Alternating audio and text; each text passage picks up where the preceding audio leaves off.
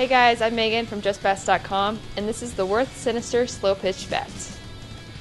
The Sinister is a two piece all aluminum bat. It features a multi wall barrel design, which typically produces a better trampoline effect.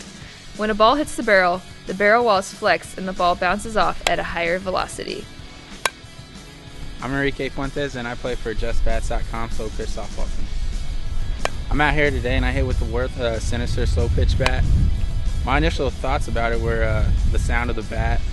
It's got the, the unique uh, slow pitch softball bat sound to it. So uh, I liked how the bat had a multi-wall uh, design, and it had a really great like trampoline effect to to the hit.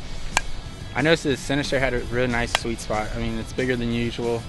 I hit a couple off the end of the bat down here, and it still had really good pop off the bat. One nice thing I liked about it was a really strong uh, alloy. I mean, it's nice to know that you can buy a bat and it's going to last you a while and not after just one season. I normally don't swing end loaded, but this one felt really nice and actually it added a little more power to my swing. And I also noticed that it's got a really thin taper, so it felt lighter on my swing and it just felt smoother going through the zone. My hands felt quicker. Get your Worth Sinister at justbats.com and remember from click to hit.